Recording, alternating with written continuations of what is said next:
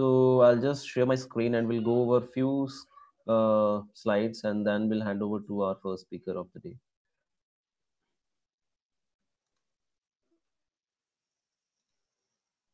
So this is our JavaScript meetup uh, 40 uh, and this will be online only. So we have not preferred online version before uh, because we believe on uh, the actual connect meeting people and that's what the meetup is for but with all covid situation uh, we didn't have any other option left. And so we're going for online the session uh, so you can follow us on twitter. Uh, so it's uh, at js meetup blr that's our twitter handle. So we do uh, all the frequent uh, meeting meetup updates speaker updates next meetup, things like that. You will get a quick update on Twitter channel. So this is our agenda for the day. Uh, so we'll have three talks today. So we generally take four to five talks uh, in meetups, but because it was online only and we're trying it for the first time, we thought let's uh, focus to a lesser talks and then we'll see how it's going and based on the feedback, maybe uh, we can think of uh, how we can do the online one better in future. So uh, the next thing I want to uh, focus more on how we can get a maximum benefit uh, from uh, the community of JavaScript Meetup. So once you're joining a JavaScript Meetup community, so we believe each and everyone who is part of this meetup, everyone should get benefit uh, from the community and how each one can do that. So I'll be talking on that so uh, why we are doing this meetup? So mainly what we have seen uh, based on our experience, uh, web technologies are evolving. Uh, every day uh, we see a new library, a new uh, framework um, coming into picture, a new way of doing things, the design patterns, everything, right? So um, people say sometimes this frameworks and libraries say we can build an app in minutes and and then we figure out okay there are better design patterns to do it so one can still the two team or a two person using the same framework but uh, both might be using it a different way. One know what exactly the better design uh, principles and patterns have to apply along with the framework to make application better performant and things like that. So those information will generally if you see those are uh, tribal knowledge. So it might be will be with some uh, team of some company or with some individual.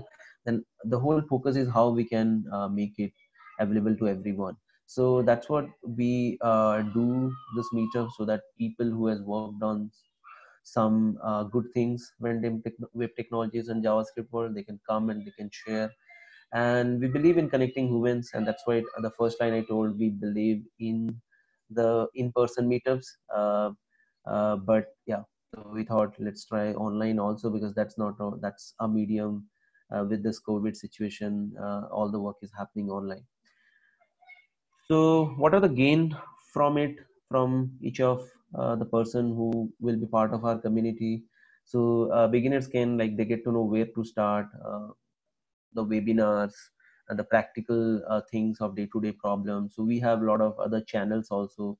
If you're stuck with any of the technical problems you can uh, post your query on slack channel. We have a whatsapp medium or the meetup.com itself you can uh, try to uh, put someone. So so you get a very big community so that one can help based on their experience to other developers.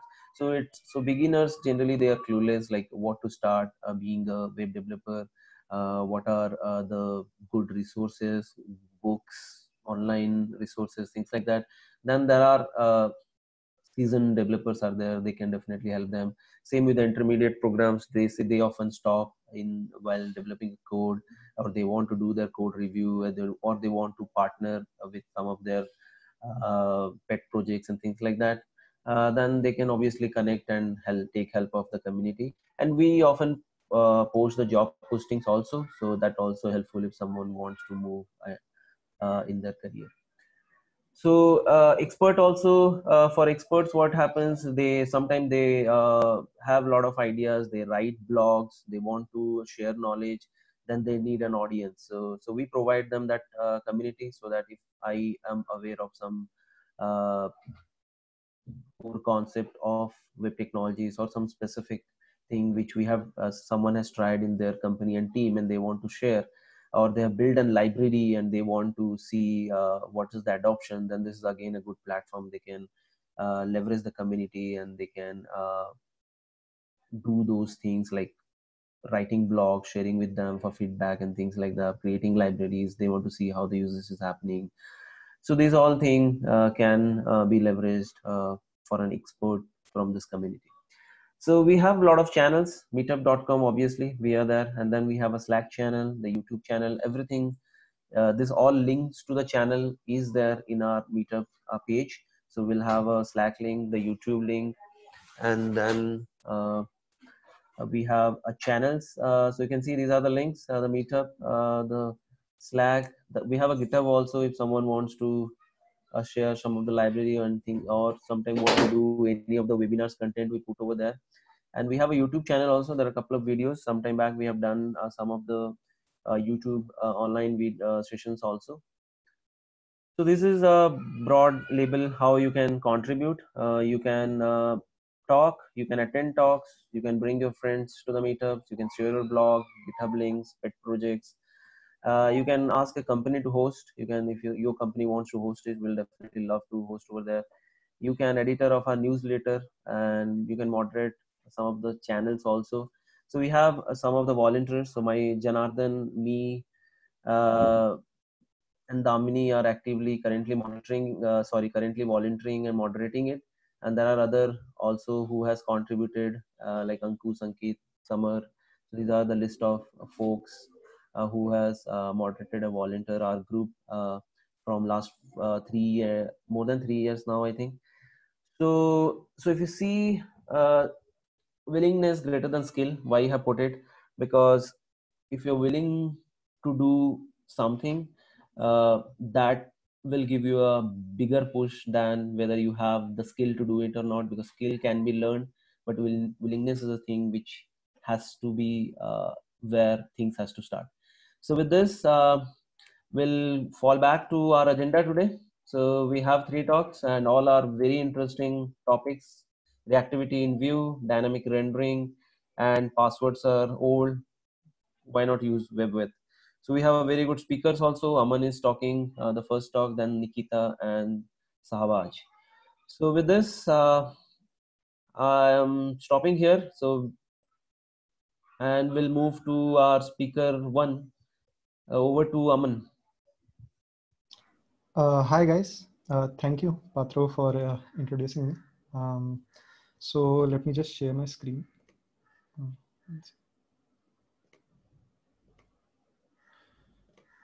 I hope you guys can see the screen. Yes. Okay.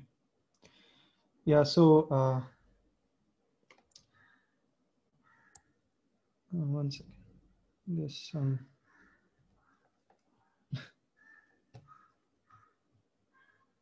I think someone tried this one. Uh, you can just uh, erase. Achha. Okay. Yeah, okay. so This- Janardhan, you should you should remove the access for uh, annotation. So Sure, when sure. Let me. when when Aman became the host, I got that option. I did not draw it, but okay. Oh, acha, okay, okay. Let let me figure out. Yeah, how to do.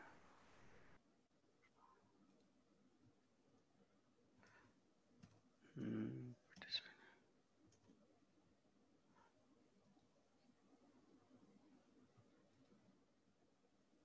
so whoever is the host Yeah. on the top, you you will see that Yeah, option. I have done. Yeah, I have cleared it. Thank you. Mhm. Okay, okay. Thanks, thanks, Janardhan.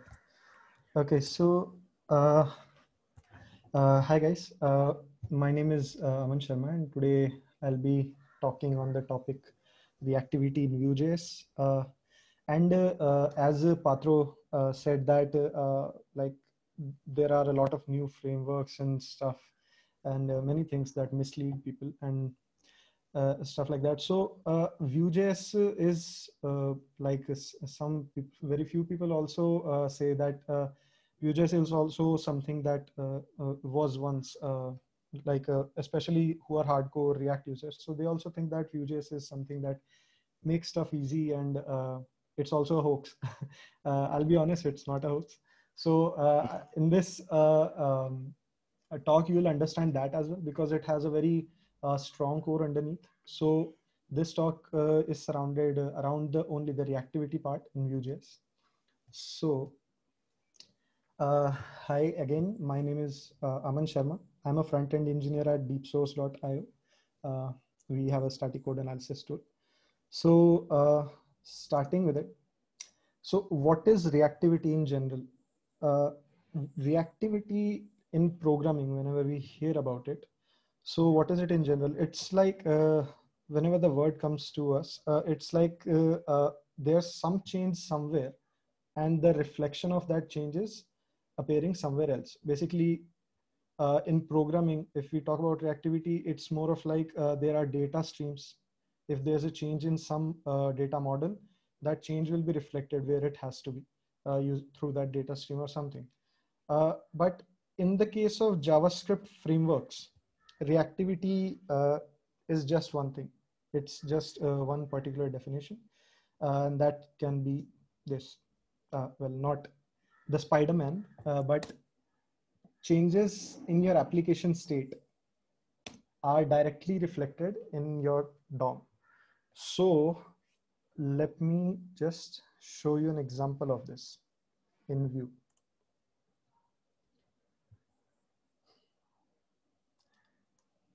Uh, I, I hope this is visible to everyone. Yes. Okay. Yes. Hmm. So uh, uh, this is a basic, a very basic uh, uh, code sample of Vue.js. Um, uh, this is the Vue uh, Vue code, and this is the template code. So what reactivity over here I am trying to explain is here whenever I enter something in this input box, so this will make a change I've, uh, I've used a two-way binding over here uh, using uh, v-model directive. Uh, two-way binding is also a very good example of reactivity. So what is happening is uh, this v-model directive, whenever uh, this in, in this input box, whenever I change something in, whenever I enter something into the input, input box, it will change the message property directly. And uh, uh, and vice versa as well. If there's some external change in the message property uh, it will be reflected in the input box itself. Uh, but uh, keeping that aside i have also uh, used the message property over here which is not visible right now because the message is empty. So what if i enter something here?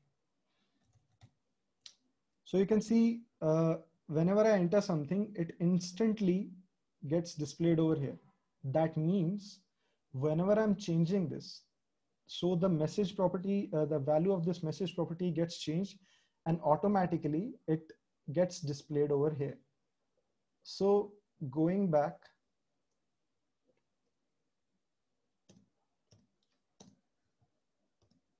this is what our code looked like. And uh, what we had in that code is an application state and our DOM. So whatever change was in the application state was directly reflected in the DOM. So this is the most basic example of reactivity and uh, not in just uh, Vue.js, there are other frameworks as well which uh, have reactivity in it. So, uh, uh, uh, but I've given this example using Vue. So why don't I just show you the example in vanilla JS, right? Uh, so that you can understand what is the difference when uh, a framework is used which has reactivity and when uh, we are just implementing the same thing in Java, JavaScript. So this is another example. So again, I have a, a HTML template over here. Uh, over here, I have a p tag with ID message. And then uh, I have recreated uh, the application state like this, the same before. I am uh, initializing the, the inner HTML of this p tag with the data message. And uh, then I have defined the method for changing the value of message. So uh, here I have used the on input uh, uh, event of uh, vanilla.js. So this basically means that whenever I input anything in this box, it will be updated. it, will, it will run this function and this function will update the message, right? So if a simple vanilla JavaScript would have had a reactivity. So the uh, whatever the uh, there's a, whenever there's a change in message, it will be directly reflected over here, right? But this does not happen. So why is this not happening? Because vanilla JavaScript is not reactive by itself. This is there is something that Vue.js does uh, underneath the hood. So what does Vue.js do? Uh, what does it have? We'll be understanding that now. So Vue.js uh, has a reactivity system and uh, we'll be uh, getting into that like how Vue.js reactivity system works. So this is, if you have ever read about uh, Vue.js reactivity, you must have come across this diagram, a very famous diagram. So uh, I'll explain it to you in a very uh, uh, uh um, particular way. So uh, from the very beginning, each cycle I'll explain it. So starting off with the render, first render. So whenever there's a first render, we see that the whenever there's a first render, so in Vue.js, all the properties that are just one data like message we had before. So uh, whenever there's a first render, uh, the data is touched basically. Uh, and what do I mean by touched? Uh, the data is basically accessed. So uh, uh, if you guys know about getters and setter functions, so if a property has a getter function and a setter function, so what it basically means is whenever we access that property, basically when uh, whenever we use that property somewhere, its getter function will be called. And whenever we try to change something,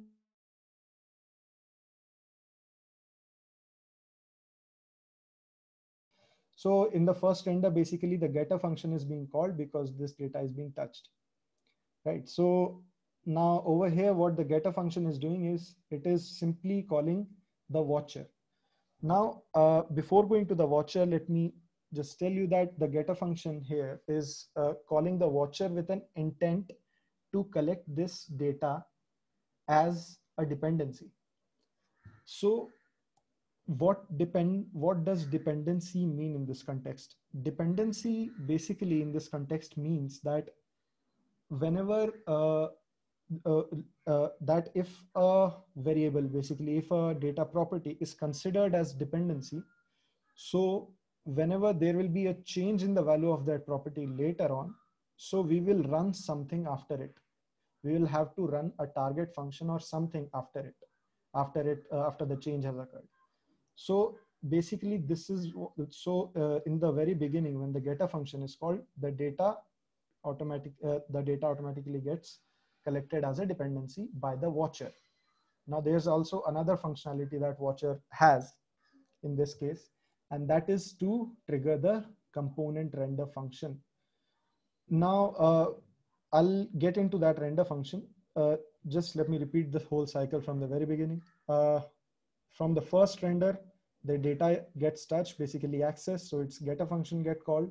The getter function calls the watcher, which collects that data as a dependency and that watcher renders the component render function. It uh, calls the component render function. Now the component render function is simply a function which returns the virtual DOM tree. Now virtual, we all know that uh, Vue.js, uh, if somebody doesn't know, Vue.js uh, uses virtual DOM. So uh, whatever uh, the render function does is uh, it takes the latest properties, it, it, takes the latest data properties and returns a, a, virtual DOM tree uh, uh, uh using that. So uh, whatever we get is updated, totally updated. Now this is the very first cycle that runs. Now the second cycle, which basically is the core of the whole reactivity thing that we are talking about here, is that whenever we change something in data, whenever we change something in data, so we all know that the setter function is to be called, right? So whenever we change something, the setter function is called and it runs a method named notify. So the setter function basically not, runs a method named notify, which uh, eventually calls uh, the watcher. And what watcher does is watcher, uh, since we had uh, taken this uh, data as a dependency, so we also had a target function to be run after it. And in this case, uh, let's just say it's the render function. So setter will notify the watcher and the watcher will again call the render function. And that will again return the virtual DOM tree. So this cycle is something that can define the whole reactivity thing in, it, in itself. So uh, again, I'll repeat it. I, whenever I change something in data, the setter function is called, which eventually calls the watcher, which re-renders the whole thing and the, uh, uh, the updated value is uh, represented in what we see on the screen.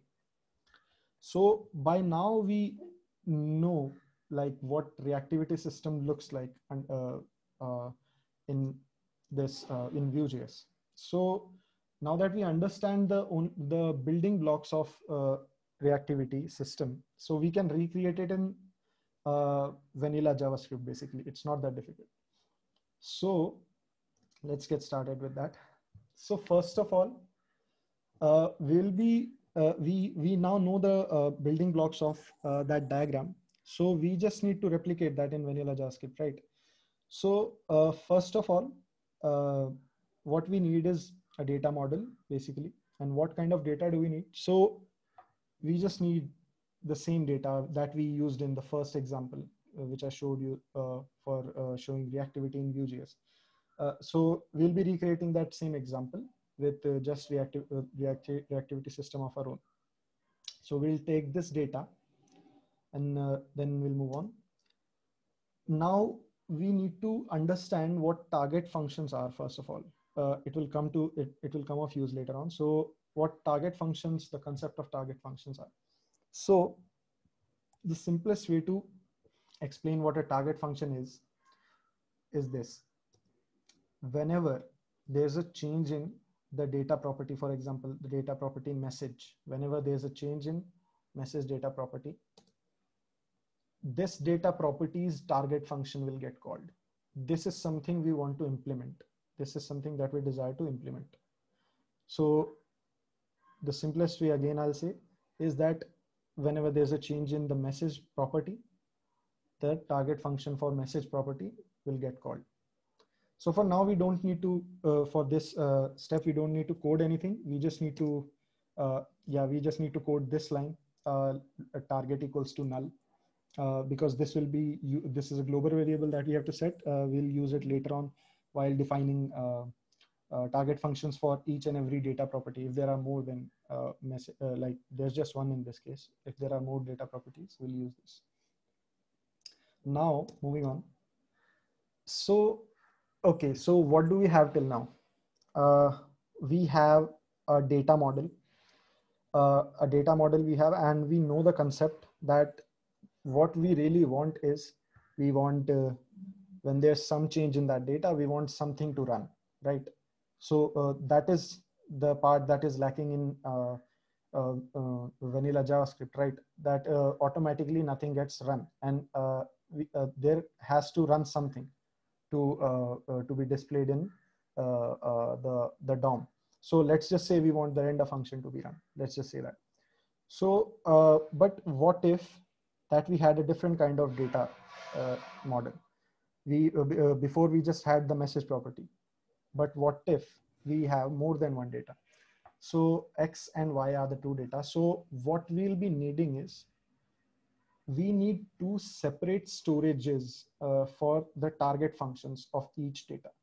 Now, uh, it's not like that only the render function is uh, basically render function. We are also taking uh, counting it as a target function because eventually it is also has to be run once the data changes, right? So it is not only one uh, uh, render target function. There can be more than one target function for any data property. So, but we need some storage space for each and every data property, right? So that, for example, let me just explain it to you this way. For example, there's a change in X. So we need some storage so that we can just go and run all the target functions that were stored for X, right? So uh, what can we do for that? So the simplest way is to define a dependency class. We uh, basically, what we do is we define a class. We have an array named as subscribers. So these, this subscribers is the storage basically. So subscribers will store uh, the target functions. Simply, uh, it's an array of functions. And uh, for X and Y, what will happen is each uh, and every data property in the data model will have its own instance of the dependency class. So as you can see, here are two instances of the dependency class. Uh, one is for X and one is for Y, and each of those instance will store the target functions for uh, uh, contextually. So you can see that uh, it, both of them have the render function and there's an extra target function for X. So this can be done using the dependency class. Uh, okay, so, but uh, there's still something that's missing in the dependency class. We have a storage space in the dependency class, but there are two more things that we need. Now we have something that is uh, storing the data, uh, data properties target functions, but later on what we will be needing is some method or something that will first of all, uh, uh, one method we'll be needing which will store these, which will basically push the target functions into the uh, subscribers array. And another function that we'll be needing is which will run simply run all the functions, anonymous functions that were stored in the uh, subscribers uh, list. So how can we do that? So first of all, uh, we will have a function named depend in this dependency class this depend function will be responsible, simply responsible for uh, uh, pushing the target function into the subscribers array. And we'll have a notify function. Uh, if you remember, we this notify function was also uh, represented in the uh, reactivity diagram. So the notify function is simply responsible to uh, run all the functions, anonymous functions that were stored in the subscriber array for that one particular data property. So this is what it looks like in code. We had our uh, constructor the same way we have now. Uh, then we have our depend function. In this depend function, we are checking if there's uh, if there's the target and uh, target basically is the target function stored in the uh, global variable. Uh, and then we'll check if this target was already stored in the subscriber array. If not, then we'll basically push it into the subscribers array as simple as that. So what depend function is doing is saving the target function into subscribers array. And then the other function is notify function. Now it uh, we can uh, remember this both two functions as record and replay. Depend is recording and notify is replaying. So this basically what it's doing is it's simply replaying all the target functions that are stored in the subscribers array. So we can remember them as record as record and replay as well. And also, if we think about it, the depend function, what it's basically doing is uh, it's pushing a target function into the subscribers array. Now, for, if we talk about just one instance, basically not the whole class, if we talk about one instance of, uh, for example, for X. So if we talk about that, so what we can understand is that depend function is also setting that data property as a dependency. Uh, but we'll, uh, you'll understand that better later on. So the next thing, so okay, uh, let's recap again. So what we have till now is we have a data model, we have um, we have a data model, and then we have a dependency class, uh, uh, and uh, and we know what target functions are. So what we have till now is what the data is, what has to be run after the data uh, changes, and we have some functions that will uh, help us to uh, store uh, the target functions and also run them. So, but still we don't have the functionality that will automatically track the change in the data model. So that we are going to uh, implement using get and set. So uh, I explained it to you before uh, what get and set methods are. So uh, here's a better example. So object classes uh, define property method also uh, uh is a, uh, it basically helps us to define getters and setters for any property. so in this case, what we are doing is in the data object, we are defining getters and setters for the message property. So uh, this method get method uh, will print this message and set method will print this message and the parameter basically in the set method is uh, the new value. Uh, so the get method will get called whenever message is just accessed. This message will be printed and a set method will be called when we change the value of message.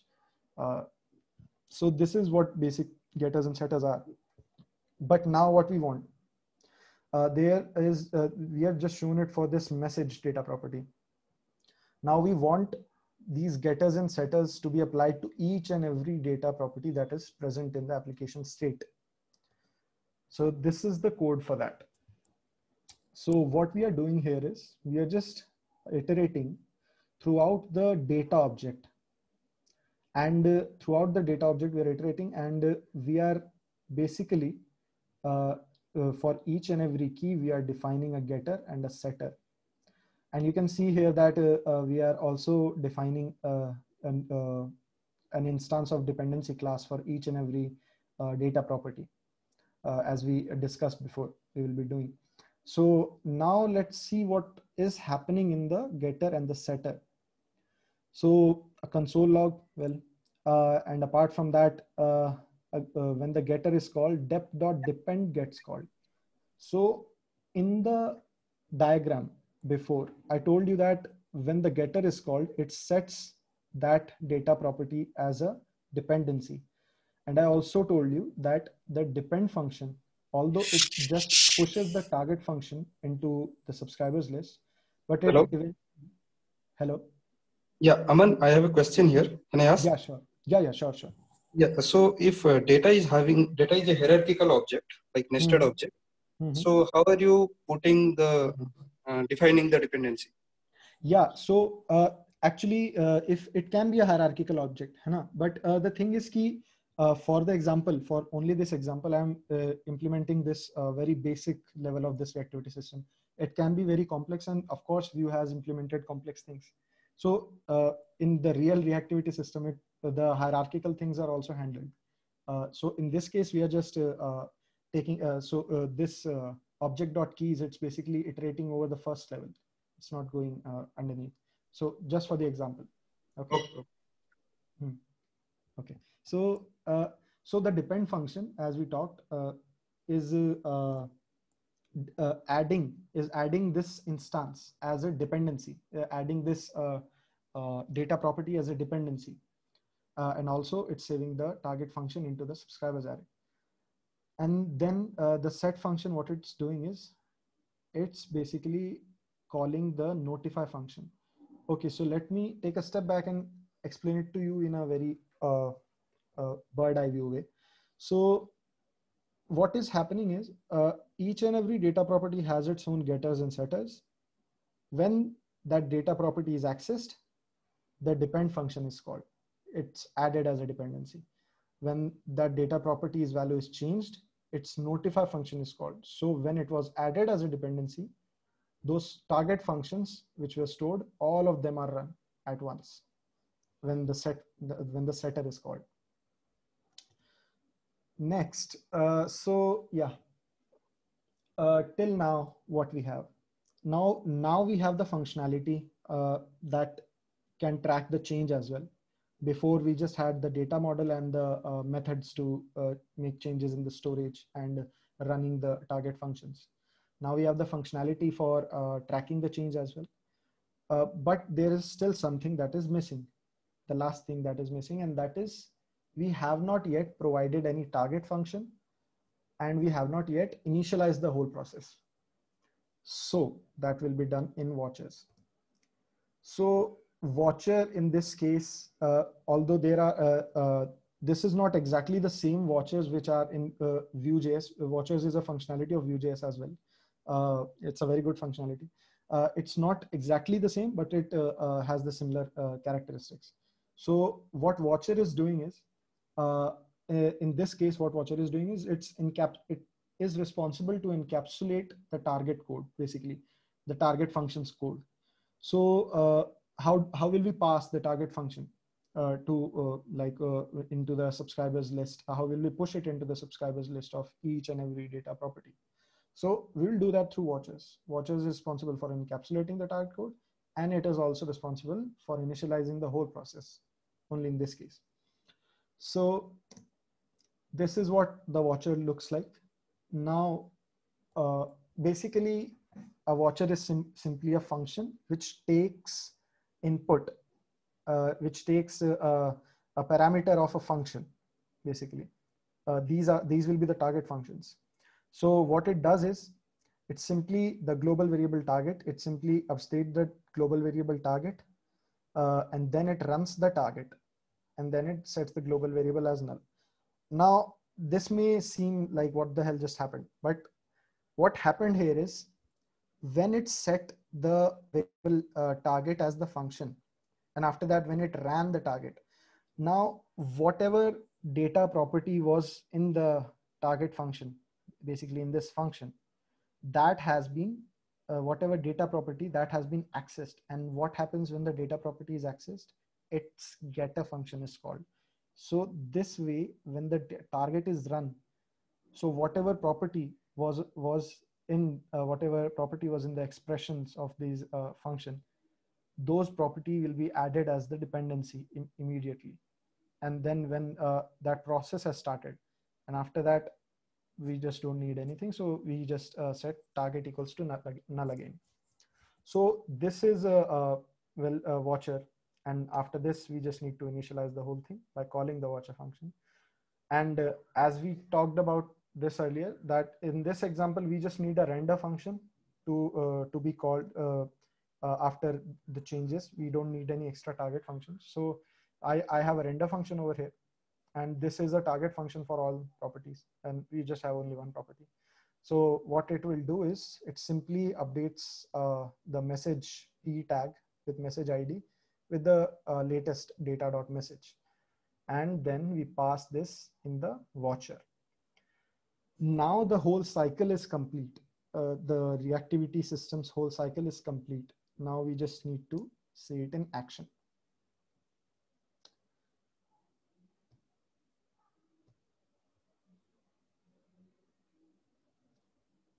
So again, uh, I have this uh, whole HTML template as I had before. I have the application state. I have the method for changing uh, this message property.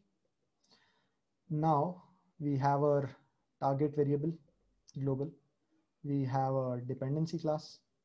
Uh, we in the dependency class, we have the subscribers array. We have the depend function and the notify function as we saw and here's a dependency when it's defined we have we are iterating over each and every key in the data object and we are uh, adding them as dependencies we are assigning getters and setters then it's the render function then watcher and then we are initializing everything so now it should work right so let's see so what if I, whatever I enter here should be displayed over here. So it's happening. And uh, we have uh, successfully replicated a basic version of the reactivity system that Vue has. Uh, yeah, so, hmm,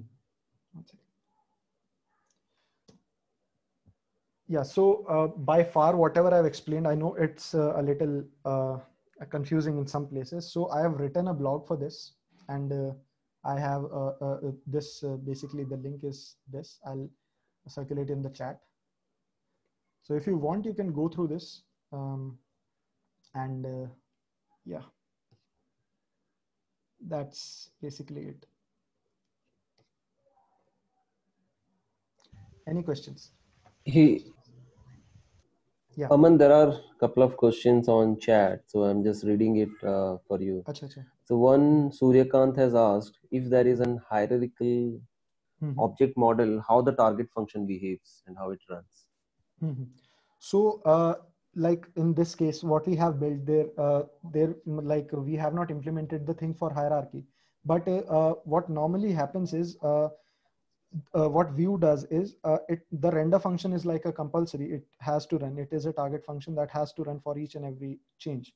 Uh, but uh, in uh, like in uh, there are some uh, there are sometimes when when there are a lot of hierarchy there are some problems uh, when we make a change to you know four five level uh, when we make a change in the data it's not reflected in the dom. So, so there are some problems in that scenario. And if you're talking just about the watcher functionality uh, so what okay so what watchers are in vue.js is uh, it's a functionality that helps us to spy on uh, the data properties and uh, run any code if a data property changes. So if we are just talking about the watches it also has a limit like uh, uh, uh it also has a, a, a limit uh, if we are normally using the watches we can just uh, spy on the first level. We have to add a extra parameter to the watcher the whole watcher thing if we want to you know just to track all the changes in the hierarchy of a data data object right? So that is in the case of watcher and if if you are talking in normal sense if you're talking like if what if the uh, the data uh, application state has a lot of hierarchy? So yeah that's true. Uh, when there's a lot of hierarchy uh, some reactivity uh, uh, limitations are there some. Awesome. So, so there is a hmm. yeah yeah. Yeah, so yeah please go on. it's a limitation. So i'm asking like is it a limitation or i can still go ahead and put my strategies like i will still be watching every uh, property in the nested object, but mm-hmm. uh, then I will have performance issue. Hmm, uh, performance issues, uh, like yeah, that's what. Like, some example. So for an example, my property, uh, if I go ahead and put my uh, dependency mm-hmm. function, my target function for mm-hmm. like all the level below, I have a very nested object, and I am hmm. putting my target function for each of the properties. Mm-hmm. So I'm saying you told you have limitation. So uh, my question is: Is the limitation like I cannot do it, or I can still do it, uh, but I will have performance issues as I have put target functions on hmm. uh, each and every property I have in the object. Okay, so uh, uh, this question that I have asked, this is in the context of the real reactivity system of Vue or the one that we have built right now? Yeah, it's in a real reactivity system. Yeah, okay. So in real reactivity, right? So uh, as I said, there are some limitations, and by that I just mean that uh, we uh, like we don't have uh, like uh, uh, direct access to add target functions for property changes. Although that, for that reason, Vue provides us with watchers. So what we basically do is we write like code. We, we write code when we have watcher. we write code and when uh, and uh, basically watcher looks like this like uh, whatever the data properties for example uh, data property has message dot uh, dot something. So uh, the watcher looks like this that message dot name then colon then basically curly brackets and within those curly the scope within those within that scope we'll write that code. So whenever there's a change in message dot name that code will automatically get run so we uh, in reality in Vue we don't uh, have the access to you know uh, uh, uh like the we don't have the core access to, uh, apply target functions. So coming back to the hierarchy part there is the watchers in the case of watchers it is possible to track to a very hierarchical level the changes but uh, normal reactivity, what, what I meant by limitations is uh, I have seen some bugs sometimes uh, that occurs. And those are like, uh, for example, there is something like message.name.id dot something dot something four or five level. And when I try to, you know, v-model that the two-way binding thing or something, so the changes are not directly reflected or some things happen. It may happen because sometimes the this property that I said, message or something or something, its value is coming from some uh, uh, asynchronous API or something. It may happen because of that. Uh, but yeah, there are some limitations. Where very well, these are like bugs in every framework. There has some, there has to be something. So yeah, it's almost perfect. It's not perfect.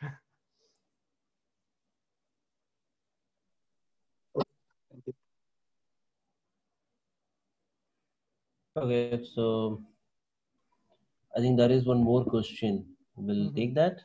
Yeah, yeah, sure. So, uh, so there is a question from Rakesh. He's saying even Angular JS has the concept of watchers. a resulting two-way data binding, but has a limitation of having max to 2000 in a page. So each such kind of limitation is there in Vue also. Okay, uh, so uh, uh, I'm sorry. Uh, actually, I'm not familiar with the Angular code. But uh, what do you mean by uh, uh, limitation of 2000? What do you mean by that? Uh, hi.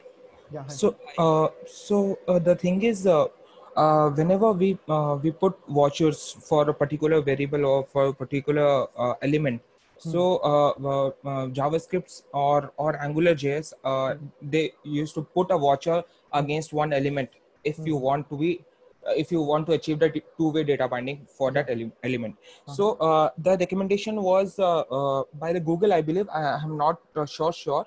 Uh, the recommendation was you can't manipulate uh, more than 2000 elements you can't put watches against 2000 elements because it will uh, decrease down the uh, performance just now Suryakant also says the same uh, just wanted to uh, just wanted to know actually i'm uh, new to vue.js i just wanted to know vue.js has come over to it or uh, uh, does it has uh, some new solution for that because you can't put watches for all the elements yeah Okay. it will definitely create a perform- performance performance issue Yeah, uh, uh, about the limitation part, I'm not, uh, I, I will be honest, I haven't uh, read that anywhere, but uh, I'll be honest that uh, using a lot of watchers is always not recommended. Uh, so, uh, like uh, even in Vue.js, uh, the watcher functionality is very good. But uh, for example, there is a data model, right? And uh, uh, uh, okay, let me show you that code. Um, so in this code, we have a data model, right? For this, uh, and it has message. So what if it had a lot of other things uh, uh, like uh, um, some uh, repo? Uh, it had this repo ID. It has something, and like this, right? So uh, and also one more thing. Uh, for example, name or something. Okay. So now the watcher thing is uh, it is recommended uh, basically to be uh, if we want like the repo this part is for example in uh, this uh, uh, repo object is basically representing a form in the basically the dom. So if it's representing a form in the dom and we want to reflect the changes that it has in the dom in some ways it will automatically happen. But if there's something extra that we want to add like code uh, on the changes of any data property in this. So in this case we should use a watcher like it should not be like this that uh, if we want to track any uh, like all the time if you want to track changes it's not recommended to use a like a huge chunk of watches so it's not always recommended. That's right yeah. Cool. So with interest of time, uh, uh, Aman, thank you for your talk. So anybody has any more question, they can always talk privately with Aman. And it was really a great talk. Aman. Uh, thank you. So our next uh, speaker is Nikita. So we'll move to Nikita for Uh, yeah. dynamic rendering. yeah just one uh, Yeah, Aman.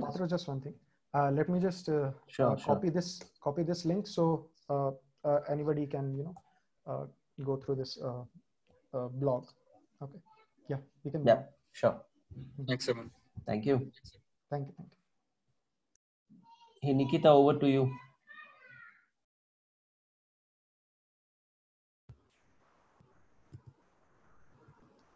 Hello everyone, my name is Nikita. I hope you are all doing well.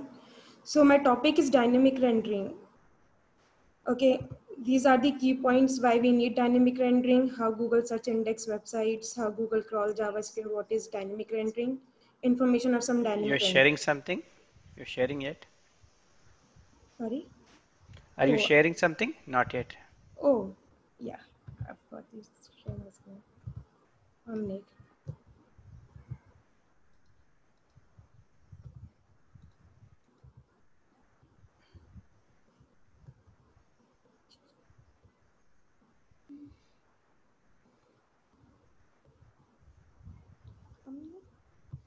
Down, you should see that share green button. Share screen. Yeah, okay. Yes, now something is. Yes, we are able to see now. Thank you. So my topic is dynamic rendering. These are the keynotes, why we need dynamic rendering, how Google search index websites, how Google crawl JavaScript, what is dynamic rendering, information of sub dynamic render. So why we need dynamic rendering, we will talk about throughout the application. Let's move to the next slide. SEO. So before understanding why we need dynamic rendering, in order to understand dynamic rendering, we have to first understand what is SEO, how it helps business, and how it works. So what is SEO? So SEO helps, SEO is a practice to increase the visibility and the rank of your application on the search engine result page like Google or Bing and all those browsers. How it helps business. So obviously when your application, when your website for any business or for any business, it's very important that their website should become on the first page of the search engine result or in the top three. So it increases the popularity plus it is easily discoverable by discoverable by the users. And uh, yeah, so obviously if you are search something on the Google like uh, books or something, you see the Amazon and other application and you always go to the second or third website, right? Whatever coming on the top. So it increase the user base, it increase the traffic and indirectly, directly or indirectly, it will benefit your business. So the question is how Google search indexes websites. First process is crawling. So in this process, Google bot, uh, Google, so these browser have their crawler. Crawler is a piece of program which we, uh, so Google is Googlebot. Okay. So what uh, Google does, it says their Googlebot or crawler go and crawl the websites. Google, uh, these would go on the internet and try to find the content, new content or update the content. So they all, so they try to find the hyperlinks and go to their web. Okay, so what they do, whenever they find any URL, they send to this crawl queue. This crawl send the URL to the crawler. Then crawler hit the, uh, hit the server, get the HTML response, and then process this HTML and get parse the content. If it finds any URL, send back to the crawl queue and send to the index. Second process is indexing. In this process, whatever the content we have parsed here, URL got index. So index are the server. So Google use Caffeine. It's a big server, so they organize and they index this uh, URLs. So after indexing, there is one more process ranking. I'm I didn't do in this slide, but there is a one more process ranking.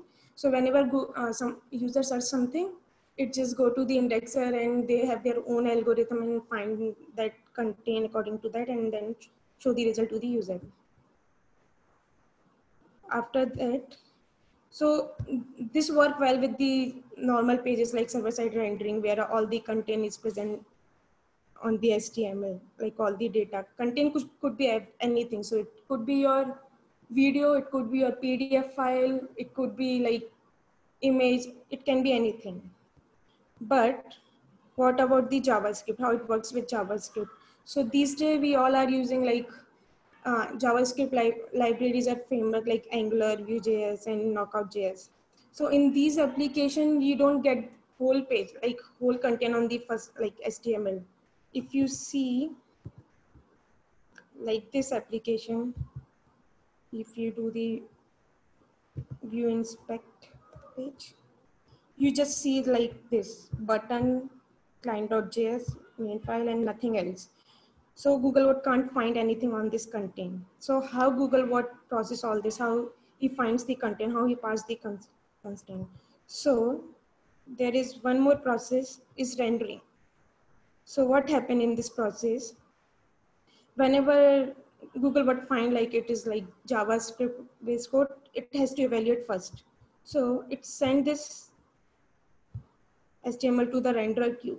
In render queue, whenever all the resources are uh, available, they render the HTML and send back to the process. In this process, you pass the HTML and if they find anything, any URL, they pass, send back to the crawler queue and send this data to the indexer.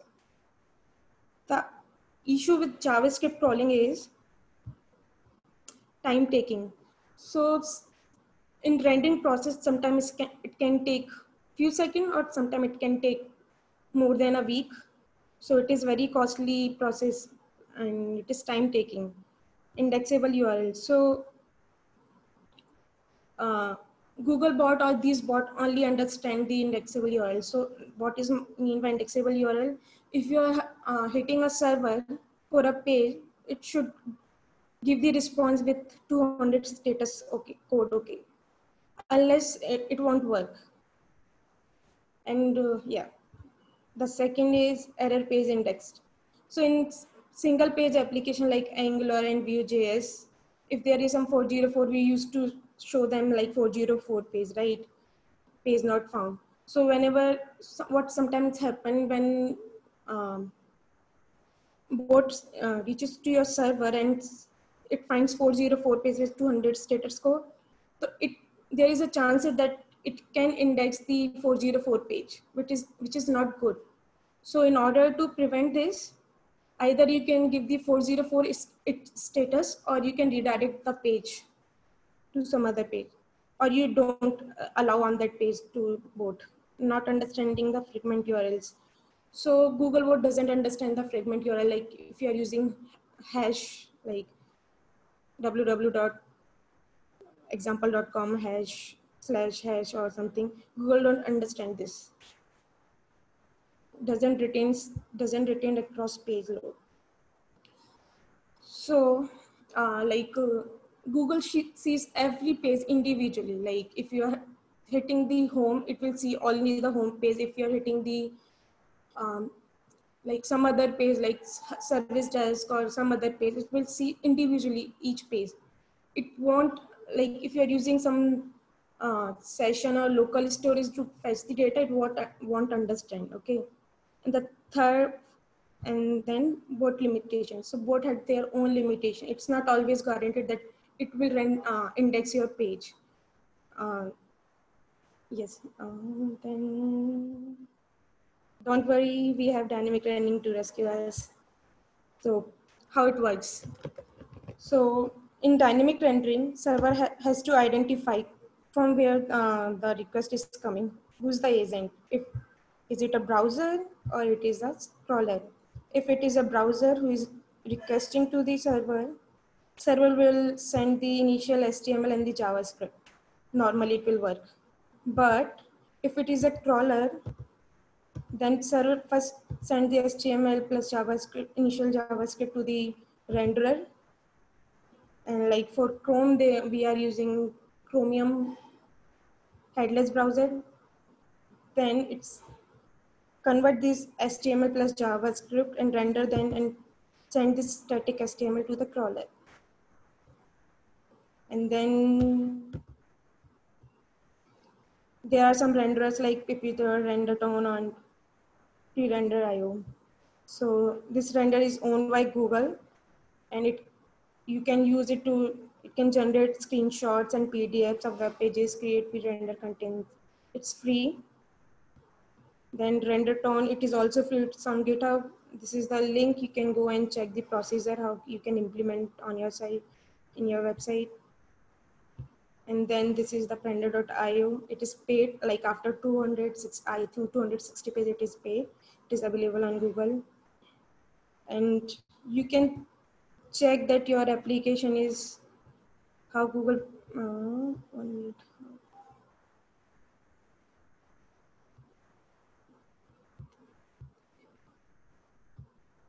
you can check how your uh, googlebot sees your application on this link.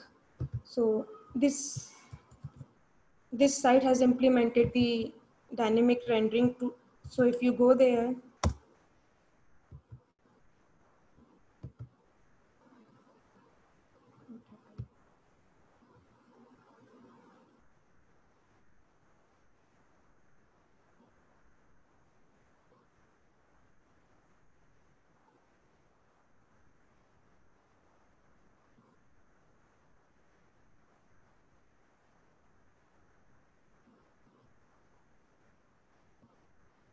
if you go here, you can see like this is how uh, our Google was seeing this page. If I talk about the different URL like this URL, you can check how Googlebot is watching it.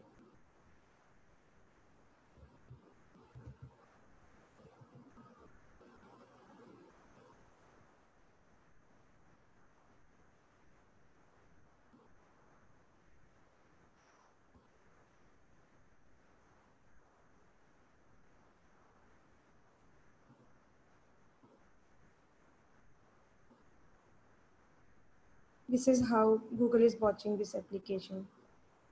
Only the hyperlinks. If you go there on the website, this is how they are implemented. But here you, have, you can see only the hyperlink. This is how Google is watching it. So you can use this page to check your application.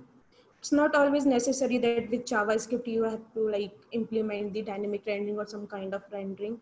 But like like this application where you seeing nothing on your when you do the view page source and see nothing you have to you should implement the dynamic rendering or but application like this where like everything is on the page like if you can see hyperlinks and all whatever you want to index or something you don't need to implement the dynamic rendering. And the second third thing like for seo it is very important that uh, you use hyperlinks and all in your pages. More hyperlink it is like more chances that your uh, application will be ranked on the top. Yeah. Thank you. That's it from my side. Hey, uh, thank you, Nikita. Hey, folks, if any questions, you can type or you can ask now or you can type later also. Uh, to Nikita in the private chat. So, if no question, then Nikita, thank you uh, for the dynamic rendering. It was truly helpful. So, uh, be available on chat. So, if anyone have a question, they can directly ping you. yeah and- Patrick, sure. Okay, so uh, we'll move to our next talk uh, to Shahbaz uh, about password thing. Why to why not to use Webauth? So over to you, Well, looks like uh, one minute looks like Ashutosh has a question. Yeah. Ashutosh, you want to go ahead and ask? Hello. yeah Go ahead, hi. Ashutosh. Sorry, Uh, Nikita. Yeah, Nikita. sure, Ashutosh, please. Uh, hi, Nikita. Uh, actually, I have used this uh, uh, pre-rendering, uh, but uh, using Puppeteer. Uh, but I found one issue that it, uh, if you're crawling um millions of pages, uh, it, it uh, the rendering time it is quite high. Is it is around 1.5 second to render a page. Mhm. Uh, but if we do the server rendering to something like uh, uh, SSR, um, we get it around uh, 600 milliseconds. So it reduces the time by half a uh, percentage, uh, um, exactly half. So, um, so what is the case? How to optimize this uh, So you can- so you can cast your like uh, htmls No, but uh, if your uh, content is pretty much uh, um, dynamic, if you want the crawler to uh, keep on updating the new data and all. yeah so you can use scheduler and you can update your uh, like that html pages time to time Okay. Hmm. Fine. so whenever the server hit it won't take like it won't have to wait for the renting and all so you can run a scheduler which like time to time run the applications and like we pre-render the pages and all So suppose we are uh, crawling uh, around 1 billion pages. So caching that many uh, fully Yeah. server rendered So, uh, caching in that case well- first you have to identify like which pages are on the priority because you can't cache 1 million pages right Hmm. No, I'm talking about 1 billion. yeah 1 billion you can't cache 1 billion pages it will slow your server and take the memory so it is good pra- practice to like prioritize your pages like which pages you want to index or to look more and then Hmm. Fine. any other question Uh, no, actually, Yeah, was question. Hello. Yeah, go Yeah. ahead. Uh, Nikta, uh, did you ever optimized in the uh, this uh, PTA in some way so that it renders fast? Is there some way to do it? No, I didn't. Okay. Yeah. Thanks. Hey Nikita, I have a question here. Uh, so, uh, does the HTML title element has any role in the uh, optimization? Yes. So, how does it in help? optimization i won't say but in ranking yes it is. So like your title your description your page should be very descriptive for the bot so let's suppose if you are you you have application for books so title should be something like what like whenever user can user type something bot understand and check the content. So your page should be very descriptive. So your title your description your metadata everything should be very descriptive. Title um, for ranking purpose, yes, uh, title plays the main role. But it sees the the- contents and keywords. Okay. Both sees the content and keywords. Okay. Yeah. Fine. Thank you.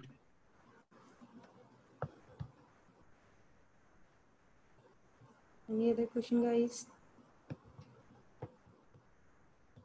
Hey, hi. Uh, so I have one question. Uh, so in case of server-side rendering, do we require this? See, in, on server side rendering, everything is compiled on the server, right? But yeah, server side rendering is always the great because everything is rendered on the HTML and then uh, on the server side, and you get. But the problem with server side rendering is that it uh, compiles everything on the server. So yeah, but with uh, if we talk about the single page application like Vue, uh, Angular, or on the Vue.js or on the this these kind of application, it's better to use pre-rendering Yeah. So uh, And- so what is the problem is ki, uh, currently we are using Angular and uh, we are using the same method. Like we are using pre-render for all these things. You are using uh, an Angular Universal? Uh, so yeah. So we are trying to move to Angular Universal. So which one is better? Like uh, Angular Universal is better or uh, this method is better? I think Angular Universal because um, in I didn't implement it, but I think Angular Universal because what I read or heard about it, like when you on the build time you generate the static pages, right? So yeah. yeah, it will like it will be the less time. It will consume the less time, or it will get the immediate. On Google will get the immediate templates. Yeah. Okay. Thank you. Thank you.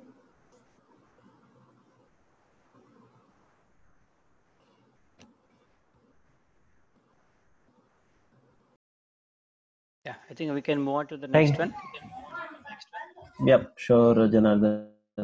Over to you, Shahbaz. Hello everyone, this is Shahbaz. So today we are going to learn about passwords and uh, something called WebAuthn. So let me share my screen first.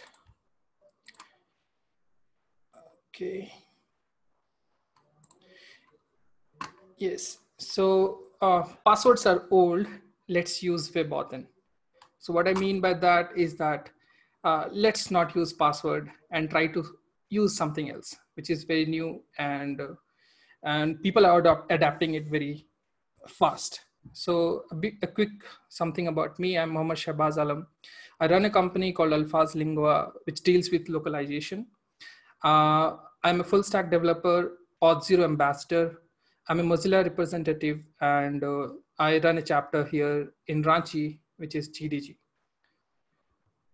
So in this talk, we are going to learn about what is passwords and what is WebAuthn. And in between, we'll see whether we are using passwords correctly or not. And if not, let's switch to WebAuthn. So what is password? So I'll start by saying that your passwords should be like Joey. I guess everyone or few of you in the chat will remember who is Joey. So I'll come later how your password should be like Joey. But before that, what's a password? It's a very basic question. And uh, answer to that is anything that's a shared secret that is a secret between you and your provider you and the service provider. It can be anything, but it is a shared secret. So a password can be a string, something like password one, two, three, four, but don't use it. Or a string like this, which uses uh, letters, digits, and special characters. And the advantage of using this is that, it, but it can be hard to remember if complex. If your password is complex, it's very hard to remember. So what I suggest is that use a password manager. Password manager is uh, which stores your passwords. Uh, few of the examples are LastPass, OnePass, etc. It can be hard to guess by someone if someone is stealing your password. It's very hard to uh, guess your password if it's complex, but do use uh, a password manager so that you don't forget it. A password can be a PIN code, which is of four character, four digit or six digits. It's not so hard to guess, but the best part of it is that it's often combined with maximum allowed numbers of attempts. For an example, your ATM card. It is uh, like combined with a maximum allowed number of attempts. Similarly with your mobile phone PIN. It's fairly easy to remember, usually used only with access to a physical things, as I said, like your cards, phones, and keypads. Password can be a pattern, something like this. If, if you're using any mobile phone, you'll be, uh, you, some of you might have used it as a, as a pattern, which is also a password. So there is another concept of password, which is passwordless. It, the name simply says what it means. There is no password. So what we do in this, there's a one-time password, which is valid for one-time use only and often ex expired after a certain amount of time. And it is sent directly to the users.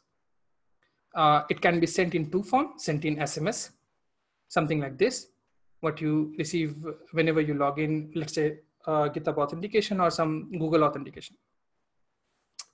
And uh, iOS and Android lets you fill the OTP with a single click of it. But not all telecom operators take security seriously.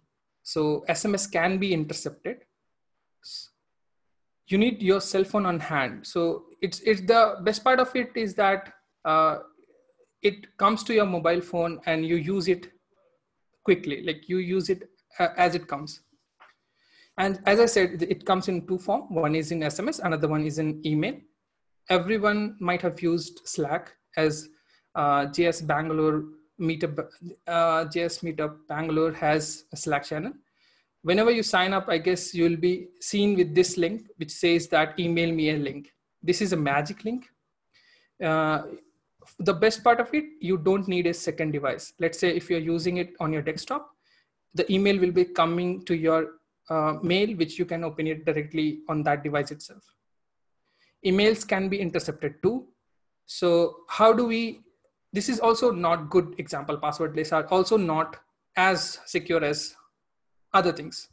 So we, you, we combine all these passwords with something called authenticator app, which is second factor authenticator. This is a Google authenticator app. There are uh, various authenticator app in the market, which lets you fill the second factor authenticator with a six digit number, eight digit number, depending on the authenticator app.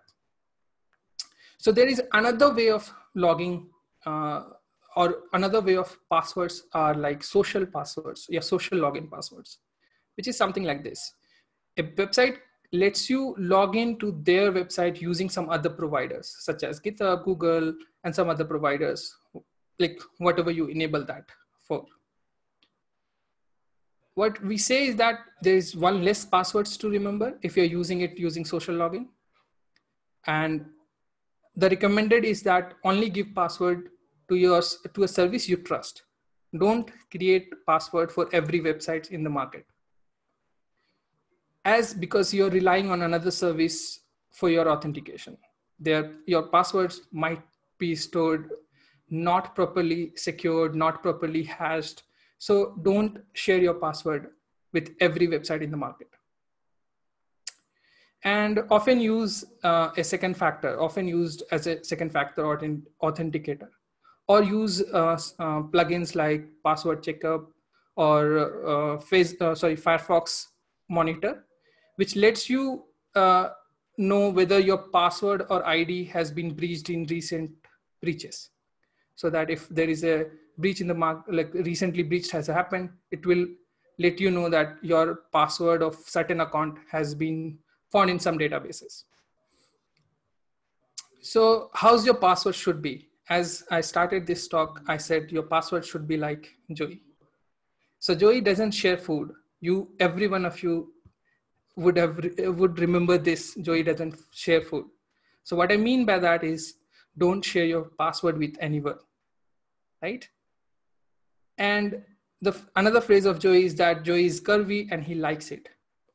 So use uppercase and lowercase character if you're using a if you are using a password, right? Something like this, uppercase and lowercase characters. And be like Joey, he doesn't know French, he makes it up. So make your password randomly, not the dictionary words. Like do not, uh, let's say if you're using some words randomly, put some other words which is not found in the dictionary so that it's a gibberish form of password. So it is not been attacked, it, it would not been attacked by the dictionary attacks. And the last one is that Joey has one Chandler. Your password should only be used on one account. So use one password for one website only, right? So these are the tips for a good password. If you're not switching to the WebAuthn and if you're not going to use some standard method, what I have said, use a complex password, don't use personal data, don't reuse passwords, and change your passwords frequently. So uh, if I'm not sure if everyone follows XKCD, but this uh, post says the uh, password strengths. It deals with lot many things. I'll share the presentation link after the talk. You can go ahead and understand what it means. It's very easy. Uh, for example, I'll go with only one. It, it has lot many. So I'll go with correct horse battery staple. It means if the, you are using four random common words, even if it is found in the dictionary, uh, the entropy, the password entropy of that is 2 to the power 44, which takes 550 years at 100 guesses per second.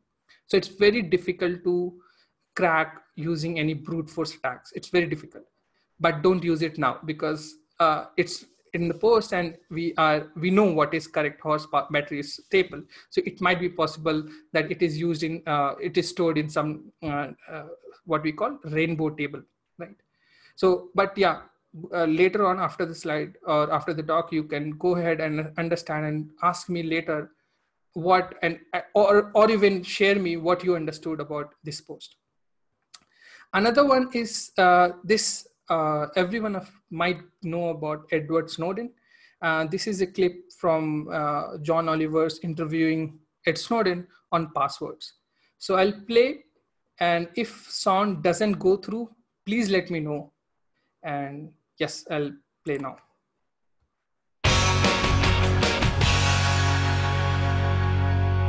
Why are passwords so important? Or why is it important that we have better ones than the ones that we do have? because the ones that we do have are embarrassingly bad? Bad passwords are one of the easiest ways to compromise a system. For somebody who has a, a very common eight character password, uh, it can literally take less than a second for a computer to go through the possibilities and pull that password out. For an eight character password? Right, right, right. My password is five characters. That's not a joke. That's bad, right? That's really bad. Okay, so which of these seem like good options? Password, but spelt W E R D. This is a joke, right? Uh, no, uh, yes. That would be within uh, normal password dictionaries, permutations of common words. But it's misspelt though, so that was the kind of tripwire on it. Right, it's still eight characters, even if it's not uh, within your password dictionary, which would mean it would okay, be okay, all right, okay, okay. It was a bad, it's a bad, it's a bad one. It's a bad one. that's why I got some more. Um, one, two, three, four, but spelt out. That's not going to help you. Okay. Um, Limp Bizkit forever with Limp Bizkit spelled properly, but forever not. That's also not going to help you. Okay. Really? I think the best um, the best advice here is to shift your thinking from past words to pass phrases. Uh, think about a, a, a common phrase that works for you that's too long to brute force and also make them unlikely to be in the dictionary. Admiral Alonso Ghost Penis 420 YOLO. That's pretty good. Right? It's memorable too. Right, it's memorable. It's got all the other things you like, like characters and numbers. YOLO capital letters, obviously. I shouldn't say, now I can't use it.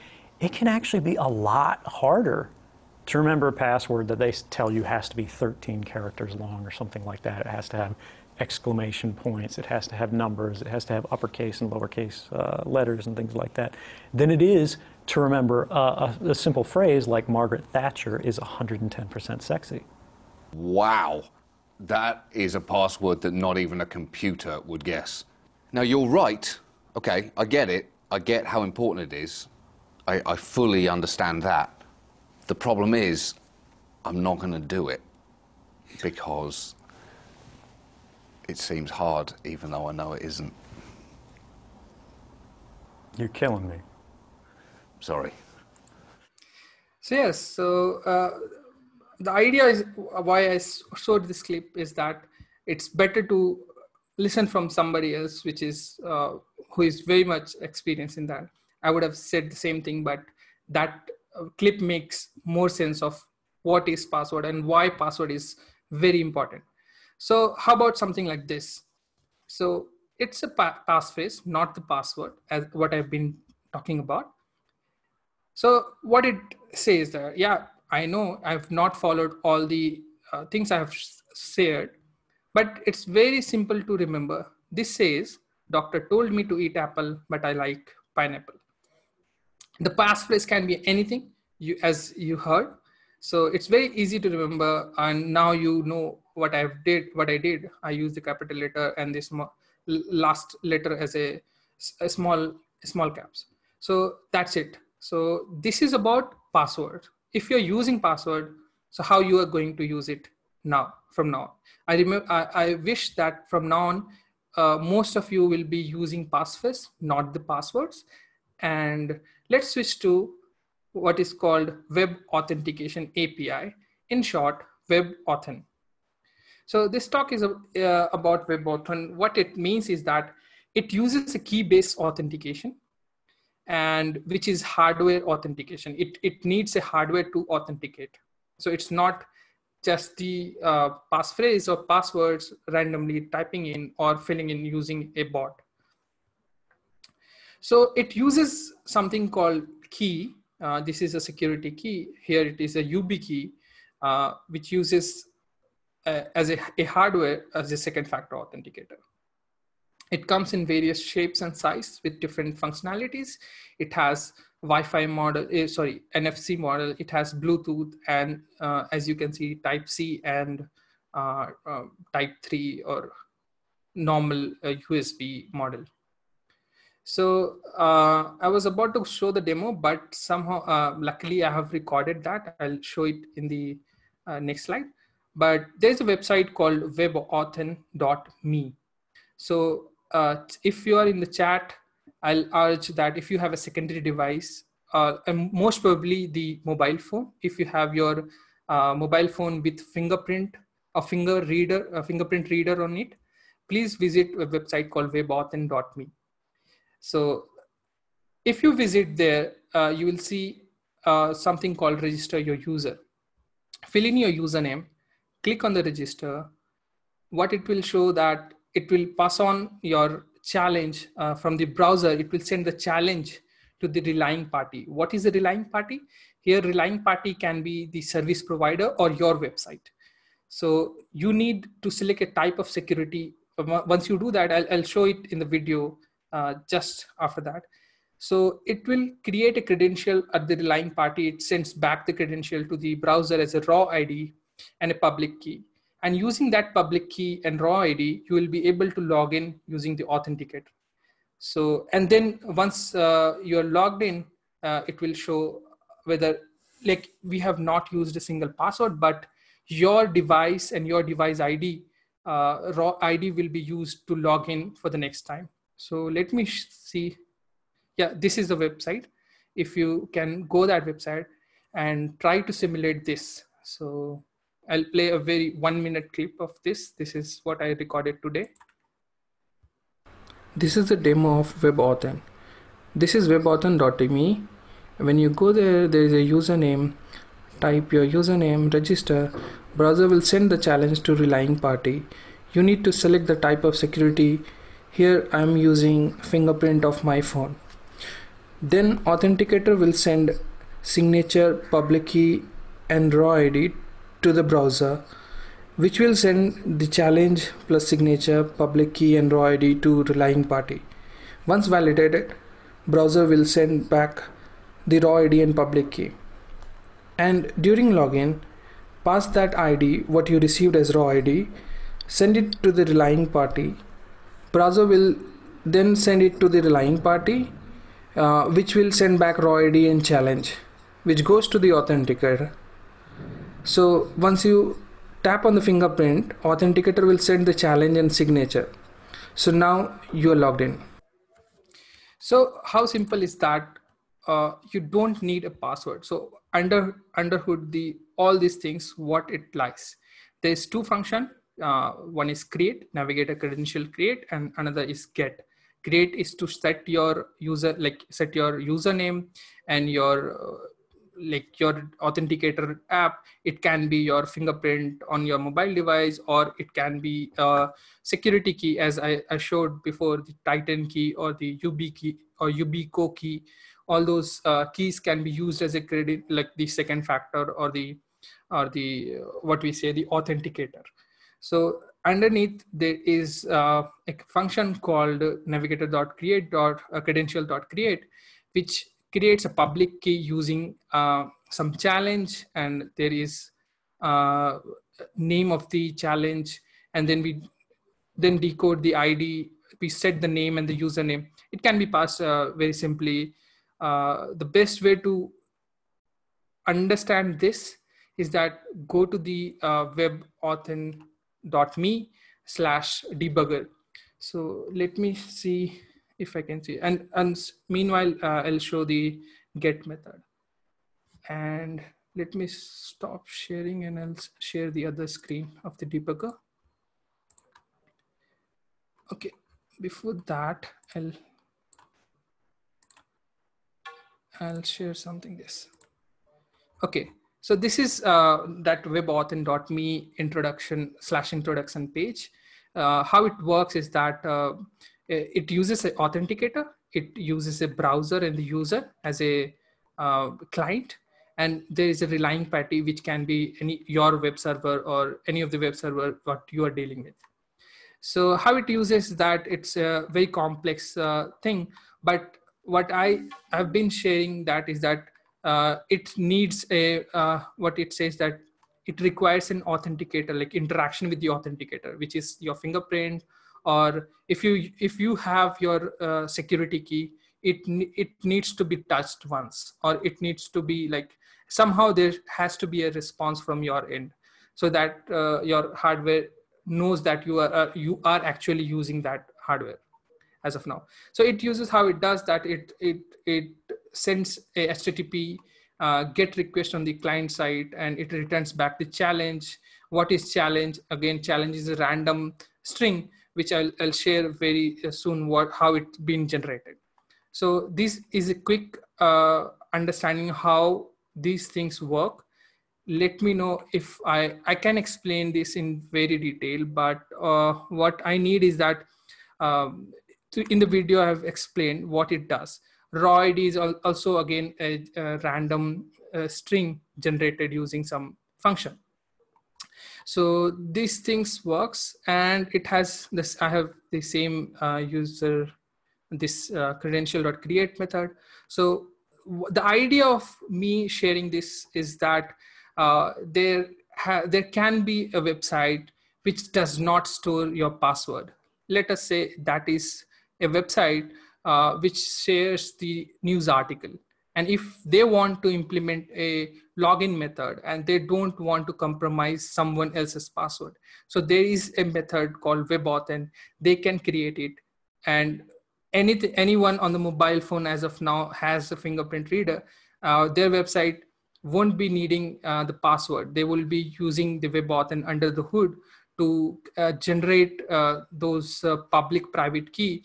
And they'll send back the raw ID in the public key to the user and store the private key on the server. And then with matching on the same, once you log in, the, your device has your, uh, somehow store it on your, uh, on, on your client. And once logging, uh, send the user ID using the touch fingerprint um, on the mobile phone. And it sends the ID uh, to the relying party through the browser. And it's once it's validated it will see.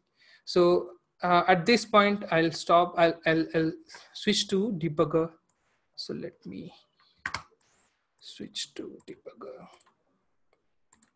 and meanwhile i'll ask the chat in the uh, whether you have uh, visited this website or not. Have you tried or not?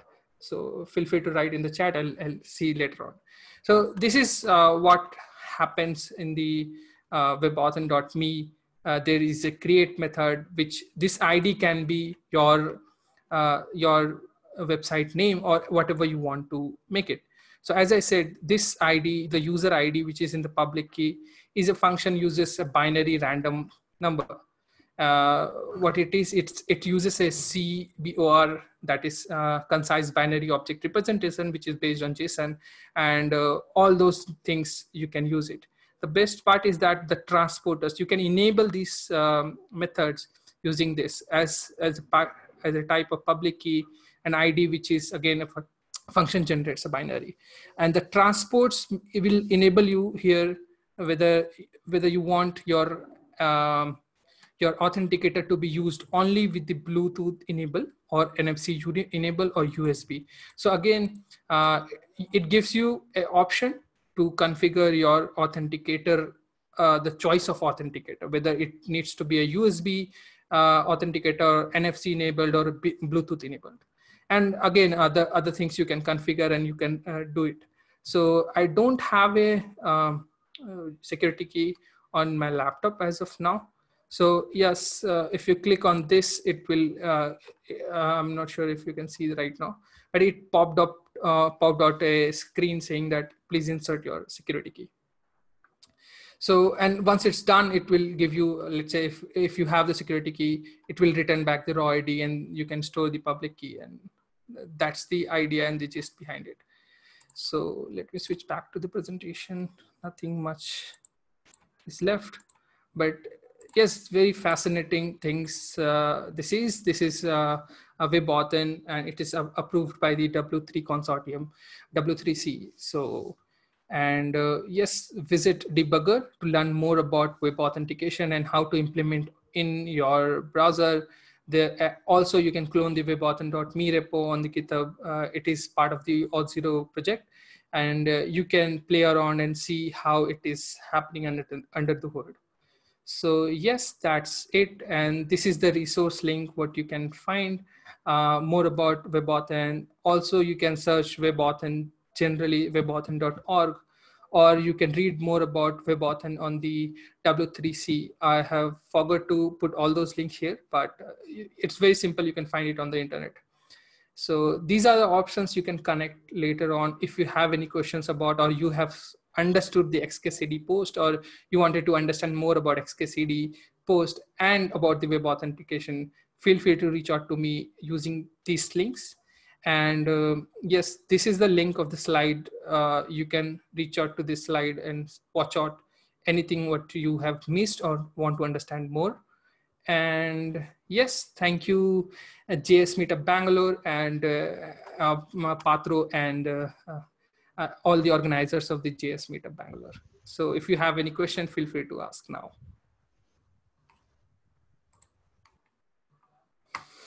Guys uh, so open for question. So if you guys have any questions yeah you can ask now.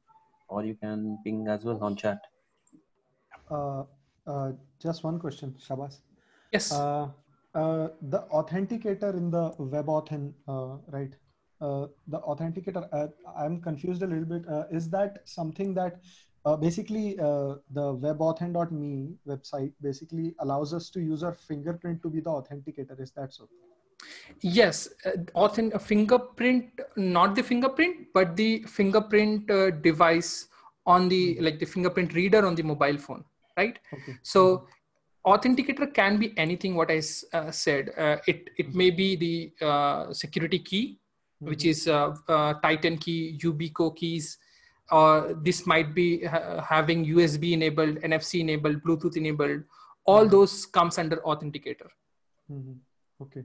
So uh, uh, also just one more thing. It Yes. I'm not very sure all because I haven't used it before, but it looked very similar to the uh, RSA authentication that GitHub has, right?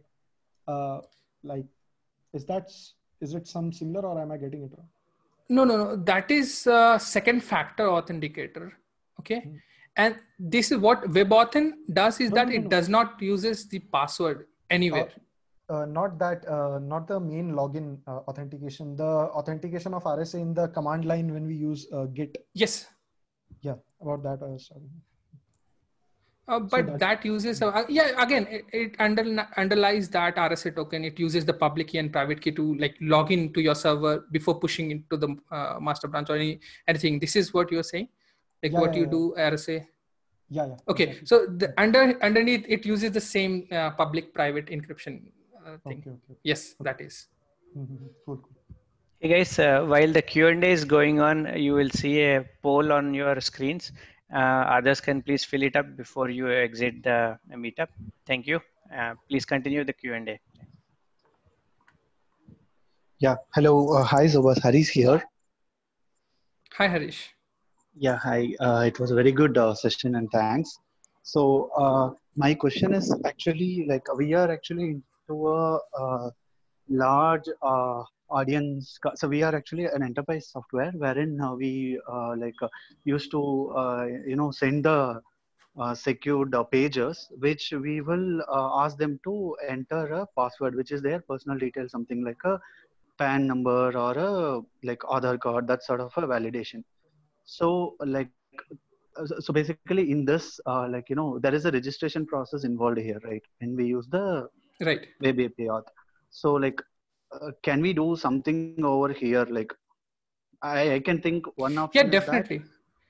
Yeah. Yes, definitely. I, I- can say that you can use it. The one option, uh, what you're going to say is that once uh, anyone register, uh, you can ask or you can give them an option of enabling it through that. Once they click on the enable, was the they need to even I was register again.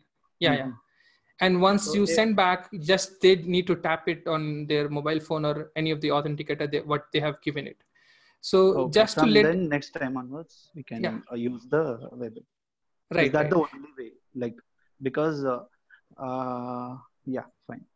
Got it. But one more thing is like, uh, should be should it be like domain domain specific? Let's say, see, our uh, customers will uh, may are uh, like they might have already this uh, fingerprint uh, authenticated. So can we uh, use that uh, for uh, like a different domain?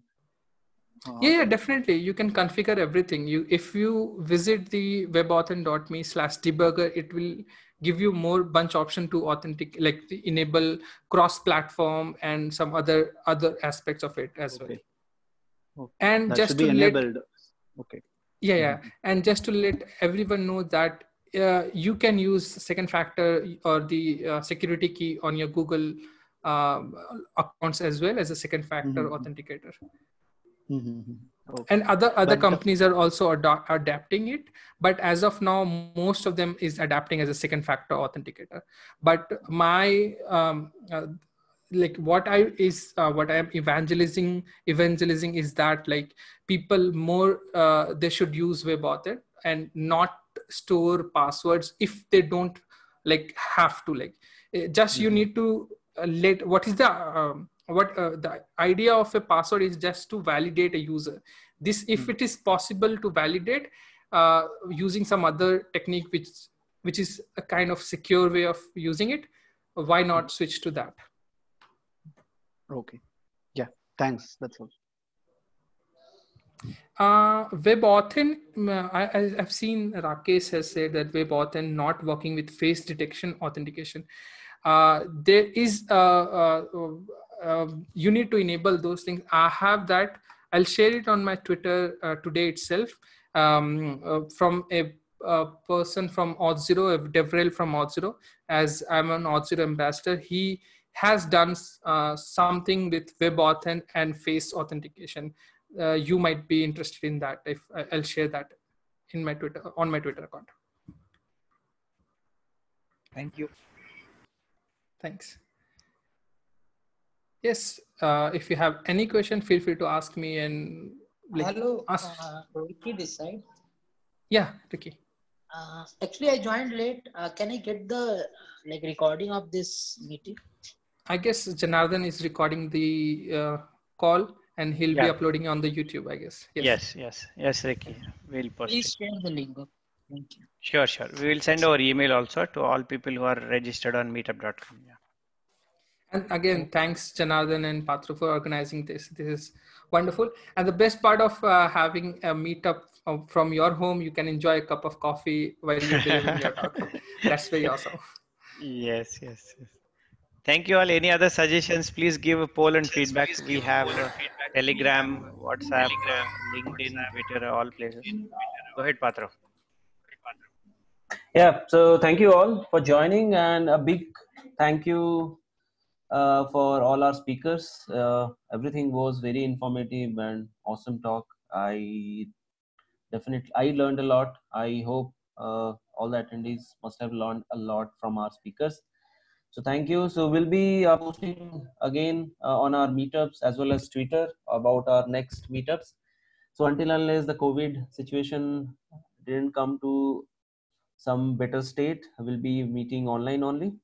Uh, but definitely we want to meet all of you face to face with some our actual meetup hosted by somewhere in the company. So thank you all. So Janardhan, anything else Anything else? All good. Uh, till we meet again. Thank you all.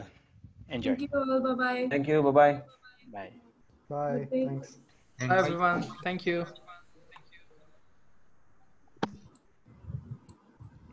Bye.